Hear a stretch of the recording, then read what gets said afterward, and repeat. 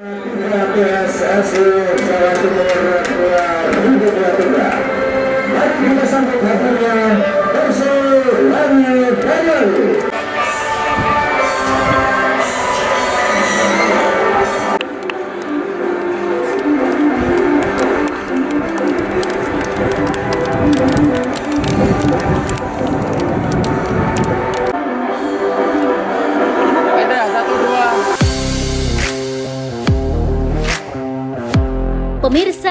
bersamaan dengan momen Hari Jadi Banyuwangi atau Harjaba ke-252, sepak bola Persewangi Banyuwangi menang atas lawannya Persebo Muda Bondowoso pada Senin 18 Desember 2023. Sempat tertinggal 0-1 dari Persebo Muda Bondowoso, tim Persewangi Banyuwangi akhirnya menang 2-1 dalam laga pamungkas grup B Liga 3 dengan hasil kemenangan 2-1 melawan Persebo Muda Bondowoso. Persewangi Banyuwangi berhasil menyapu bersih empat laga di babak penyisihan grup B Liga 3 Jawa Timur dan menjadi juara grup dengan memuncaki klasmen dengan poin sempurna yakni 12. Perlu diketahui di babak 28 besar yang direncanakan mulai tanggal 8 Januari 2024 mendatang, 28 tim dibagi dalam 7 grup menggunakan sistem setengah kompetisi setiap tim bertemu satu kali. Juara dan runner-up grup plus dua tim peringkat 3 terbaik lolos 16 besar. Di mana tim Laskar Belambangan julukan Persewangi Banyuwangi masuk dalam grup B yang terdiri dari empat tim yakni PSBI Blitar, Persepam Pamekasan, dan MBU Baruna FC Banyuwangi.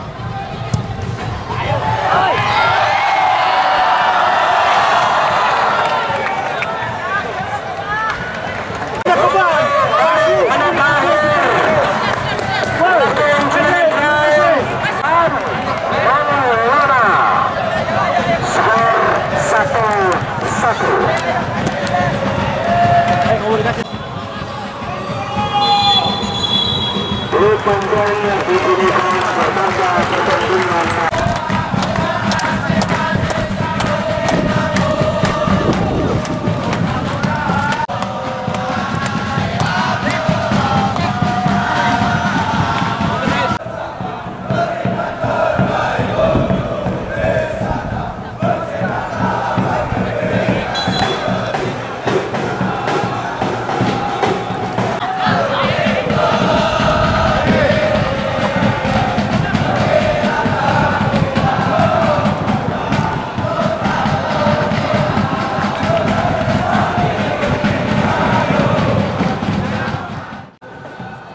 Manajer Persewangi Banyuwangi Yunus Wahyudi atau yang biasa disebut Harimau Belambangan mengatakan bahwa tim Persewangi menjadi juara grup dan lolos 28 besar karena tim Persewangi tidak pernah kalah. Permainan tim sangatlah luar biasa dan menjadi kebanggaan rakyat Banyuwangi, khususnya para supporter Persewangi. Uh, saya syukur Alhamdulillah kepada Allah yang telah memberikan satu hidayah rahmat bagi teman-teman Persiwangi kebanggaan bagi kita semua rakyat Banyuwangi dan para supporter bahwa hari ini kita telah lolos uh, menjadi juara grup. Kita punya nilai 12 karena kita tidak pernah kalah dan permainan kita sangat luar biasa. Saya tidak menyangka bahwa anak-anak kami yang kemarin waktu seleksi dan waktu uh, uji coba juga selalu kalah tetapi dalam permainan yang sebenarnya kita melampaui di Liga 3 dari awal. Dia membuat satu kepuasan yang luar biasa bagi kami, bagi semua rakyat Banyuwangi dan bagi semua para supporter yang selalu mendukungnya. Ini sebuah hadiah kepada semua rakyat Banyuwangi dan kepada uh, Kabupaten Banyuwangi satu hadiah kemenangan dari Persiwangi. Walaupun hari ini mereka-mereka para pejabat tidak mau menoleh kita, tetapi kita hadiahkan eh, nilai-nilai ikon Banyuwangi yaitu olahraga yang sangat terkenal yaitu Persiwangi ini masuk ke apa gelombang dua ya kita minta kepada Asprop juga minta untuk menjadi tuan rumah lagi karena intinya kalau kita menjadi tuan rumah sebagai support mental teman-teman dan sebagai hiburan rakyat Banyuwangi dan semua supporter yang ada di sini.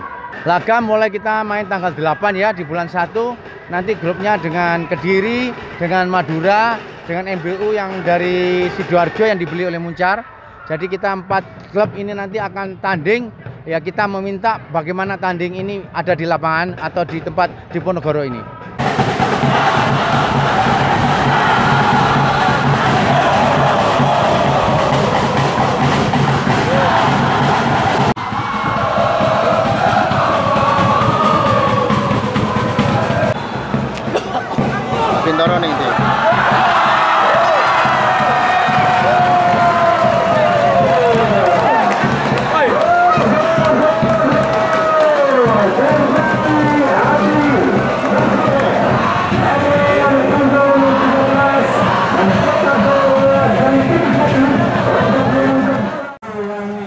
Bagong Iswahyudi pelatih tim Persewangi Banyuwangi mengatakan, walaupun Persewangi sudah memastikan lolos, akan tetapi kita mencoba pemain-pemain lapis kedua.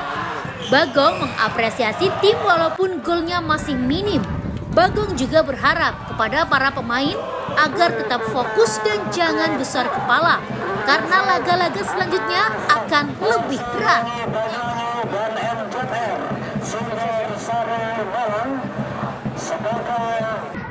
Uh, sebenarnya kita kan sudah memastikan lolos ya.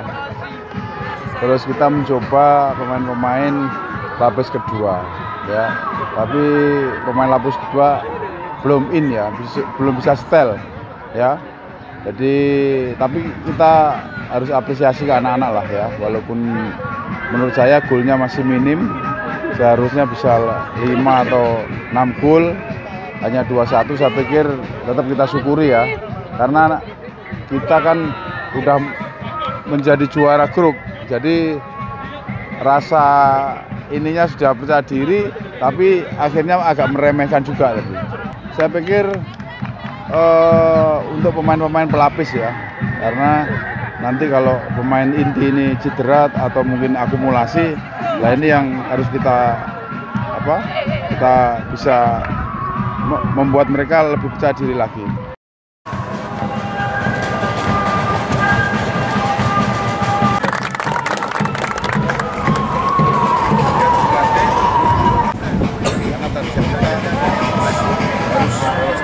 Pada adik-adik semuanya, para pelatih ya, uh, semuanya teman-teman yang membantu Persiwangi, saya ucapkan terima kasih semua.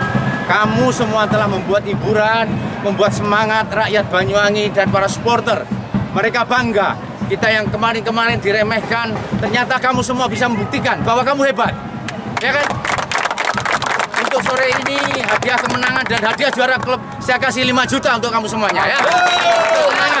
Malam nanti tak gaji semuanya ya. Kalau mau istirahat, istirahat yang baik, yang mau pulang hati-hati di jalan ya. Siap, siap. Tengok keluarga dulu.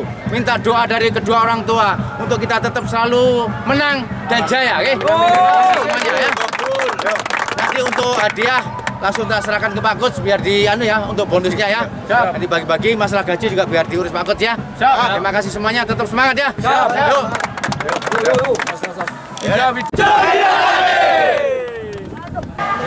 liga ini kita di grup B sangat kompetitif sekali karena ada tiga tim. Kalau kita kalah satu kali kita selesai di situ. Kita tidak bisa ambil juara grup untuk beralih di sini. Katanya para manajemen kita minta tuan rumah lagi. Bagaimanapun caranya kita fight tetap fight. Untuk penyampaian ke teman-teman, saya di sini sebagai pemain dari Persewangi, saya tidak setiap pertandingan saya tidak mau kalah. Saya selalu ingin menang karena kami tidak hanya membawa nama Persewangi saja, melainkan juga Banyuwangi. Persilangan Banyuwangi MCR Sumber Sari Malang yang lolos ke babak